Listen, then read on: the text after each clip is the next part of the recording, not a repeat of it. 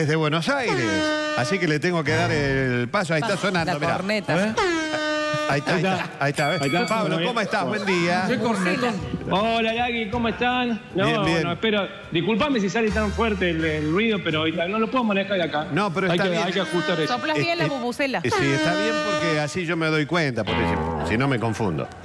Vos sabés que en una época, Sí. cuando competían Tinelli con Susana, ¿no? Y Susana terminaba su programa, para avisarle a Tinelli que Susana había terminado, porque estaban en distintos canales, barco, ¿no? Ah, que se iba. Y Tinelli, sal- y- claro, y Tinelli saludaba. Chao, Sí. adiós, decía, ¿no? era el momento en que Susana decía que ah, en lugar de idea del sur era idea del sur. Ah. ¿no? Y había, había una guerrita, digamos, entre los dos que después se terminaron realmente bien y no hubo más problemas. Claro. Clagui, escándalos en idea del sur, ya que estamos hablando, ¿no? Oh. Se agarraron Pachano y Polino en los camarines.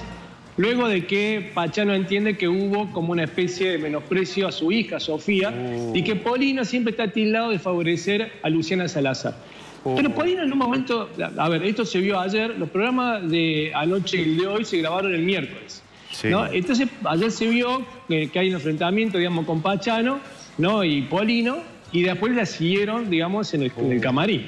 Sí, sí. Hoy ya lo puedo contar, digamos, lo pudieron contar, seguramente después se podrá avanzar un poquito más, pero muchos entienden como que Polino tiene una mirada complaciente con su amiga Luciana Salazar. Ah, Y es por eso que Pachano se lo recriminó. Y muchos dicen que Sí. Pachano hace lo mismo Con con. Sofía, ¿no? claro. Sí. Claro. Claro.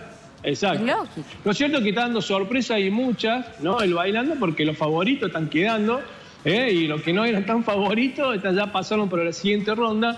Y festeja el día porque ayer tuvo de nuevo pico casi 18 puntos el programa. ¿eh? Uh, La verdad está, la verdad está pasando por un, por un gran momento y eso pone todo muy contento. Ahora crece, y acá me quiero detener y tengo tengo que agarrar una libretita porque tengo datos que anoté. Sí. El enojo con Pampita. ¿Por qué? Sí. Porque todo empezó como un chiste, con el tema del casamiento, todo eso.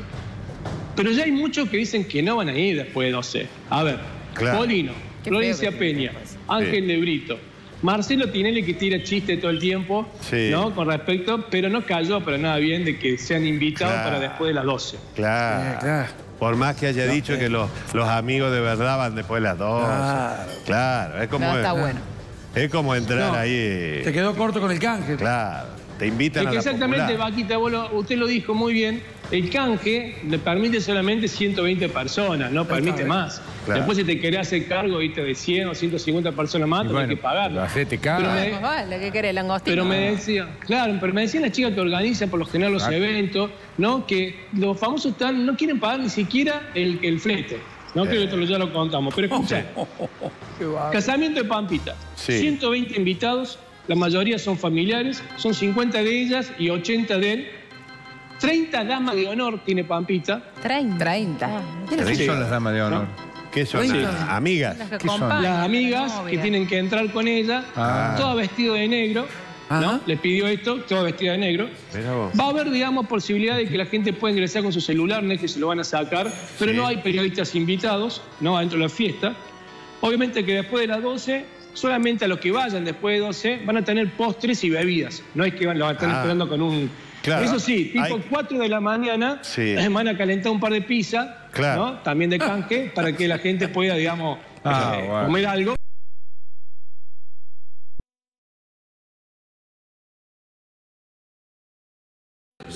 Una motito a las 4 Claro, de la mañana. Claro. Una moto que venga con un par de invertir Pero no mucho más que las 5, porque a las 5 termina todo, ¿eh?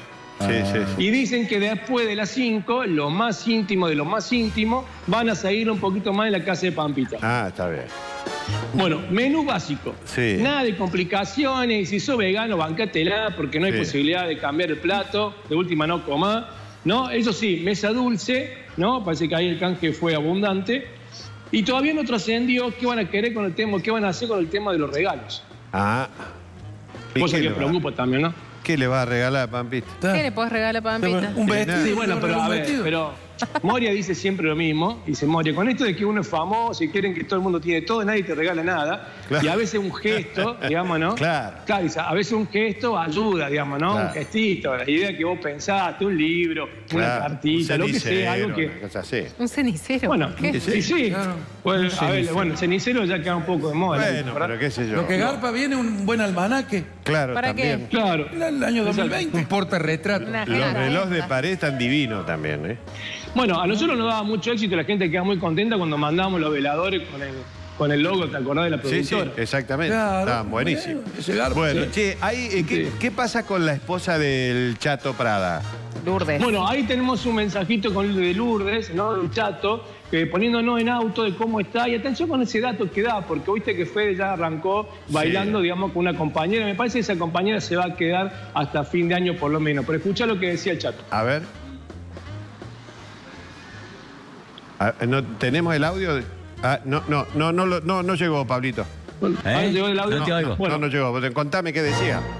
No, el chato habló de que ella tiene como un mes, por lo menos ahora, de reposo. No, ya está en su casa, está de alta, está siguiendo de cerca, digamos, por todos los médicos, ¿no? Que en realidad eh, debe tener con mucho cuidado. Todavía faltan determinar algunas cositas más que tienen que ver con esta infección tan grande que tuvo. ¿no? Volvió a reiterar que no hubo en su caso mala praxis. Recordemos que ella viene de viaje, llega del aeropuerto mismo de Seiza, se va hasta, un hospital porque se sentía muy mal. Ahí entiende que tenía una simple infección, algo que le había caído mal, vuelve Sí. a su casa, pero ese día siguió mal, con la defensa muy baja. Cuando vuelve a internarse, descubren que tenía una infección muy avanzada, que tuvieron que hacerle varias operaciones, ¿no? Y, y realmente estuvo complicada. Si se hubiera demorado un poquito más, ella misma lo contó, digamos, hasta peligraba su vida. Sí, por una peritonita. Bueno. Apéndice y trompo de falo. Pa- creo que fue. Pablito, Exacto, te tengo exacto, que dejar. y de. Te tengo que dejar porque ya llegamos al, al tope del programa. Eh, Sí, señor. Que tengas un buen fin de semana. ¿Venís a votar a Córdoba o vos votás allá? No, tengo que votar acá al aire, Ah. pero me encantaría tener que estar en Córdoba así, paso por la comisaría, justifico y nada, listo. bueno, bueno. Un, un abrazo, Pablito. Buen fin. de- abrazo. Saludos a todos. Chau, chau.